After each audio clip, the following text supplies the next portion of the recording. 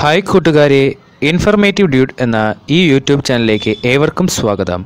നാം നിത്യേന ഉപയോഗിക്കുന്ന പഴഞ്ചൊല്ലുകളും അവയുടെ അർത്ഥങ്ങളുമാണ് ഇന്നത്തെ വീഡിയോ. വീഡിയോ ഇഷ്ടമായ ലൈക്ക് ചെയ്യൂ നിങ്ങളുടെ കൂട്ടുകാർക്ക് ഷെയർ ചെയ്യൂ ആദ്യമായിട്ടാണ് ഇൻഫർമേറ്റീവ് ഡ്യൂഡ് എന്ന ഈ ചാനൽ കാണുന്നതെങ്കിൽ സബ്സ്ക്രൈബ് ചെയ്യൂ.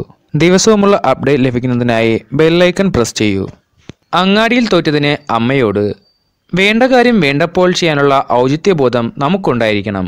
ഉചിതബോധമില്ലായ്മ ഒരുവന് പല പാകപ്പിഴകളും വന്നു ചേർക്കാറുണ്ട്. തന്റെ കഴിവ് കേടുകൊണ്ടുണ്ടാകുന്ന അബദ്ധങ്ങളിൽ ഈർഷ്യയും നാണക്കേടും തോന്നിയെന്നും വരാം.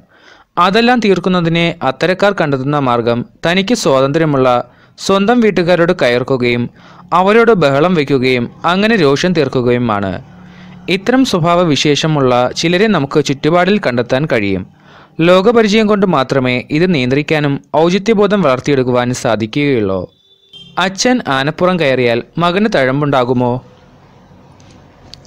മഹത്തായ കാര്യങ്ങൾ ചെയ്ത് പ്രശസ്തി ആർജിച്ച കുടുംബത്തിൽ പിറന്നതുകൊണ്ട് മാത്രം ഒരുവന് മഹത്വം കൈവരികയില്ല.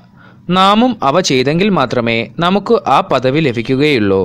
സ്വന്തമായി യാതൊന്നും ചെയ്യാതെ വെറുതെ കുടുംബമഹത്വം വിളിച്ചു പറഞ്ഞതുകൊണ്ട് പ്രയോജനമില്ല. അത് സ്വയം നാണം കെടുത്തുന്നതിനെ സഹായിക്കുകയുള്ളൂ. ഉന്നതന്മാരായ അച്ഛന്മാരുടെ മക്കൾ ഹീനന്മാരായി ഭവിച്ചതിന്റെ ഉദാഹരണങ്ങൾ നമുക്ക് ചുറ്റും എത്രയോ ഉണ്ട്. അതിനാൽ മഹത്വസിദ്ധിക്ക് സ്വപ്രയത്നം മാത്രമേ ഉതകുകയുള്ളൂവെന്നും വീമ്പിളക്കൽ കൊണ്ട് യാതൊരു പ്രയോജനമില്ലെന്നും നാം അറിഞ്ഞിരിക്കണം. അതിലേക്ക് വെളിച്ചം വീശുന്ന ഒരു പഴമൊഴിയാണ് ഇത്.